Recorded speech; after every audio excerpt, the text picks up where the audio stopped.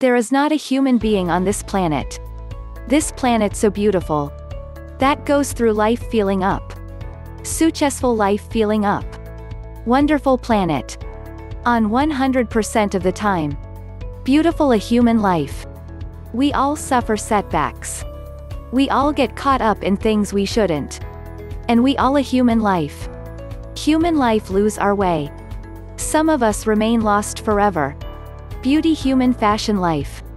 And some of us find our way back to the path we were destined to travel. Of us remain lost forever. Eckhart Tolle once said, At the primary cause of unhappiness is never the situation, but your thoughts about it. In human life, whether you stay lost or find that path, beautiful life human is a choice. If you beat yourself down or lift yourself up, it is a choice life. And human life choice. Start in your own mind. Your reality is not what has happened. In life human. But how you frame. What has happened. Change your thoughts. A human life. And you will change your life. Human life are five ways to get back on track. Whenever you've lost your story and happened. First part. Write down your reason why. When you know your reason why. You need no external motivators. Why must you do what you do? Why must you succeed in human life? Why must you get healthy life? Develop yourself. Set a positive example. Why must you earn money? Human life change your attitude. Strengthen your relationships. Who are you doing it for? This a human life. Why must you keep fighting? There is a reason. In a human life. And when you find that reason, it will light a fire under everything you do. It will get you up early. And keep you up late. It will inspire you to push harder. To fight longer. To try a different way. To find a way. To never in life. Ever. Give up. You'll still have low moment.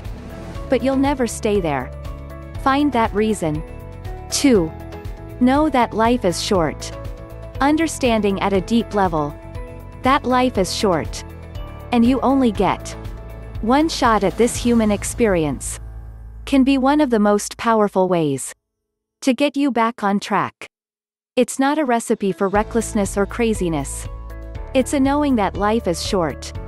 And everything you are stressing about will likely not matter in the end. It takes the heaviness off almost every problem in life. Let's go. And focus on doing the things you love. Following your passions. Surrounding yourself with great people. It takes the heaviness off almost every problem. Let it go. And focus on doing the things you love. Following your passions. Surrounding yourself with great people.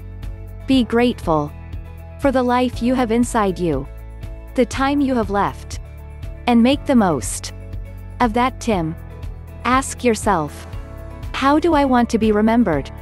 How can I conduct myself today and every other day? So I remembered that way? 3.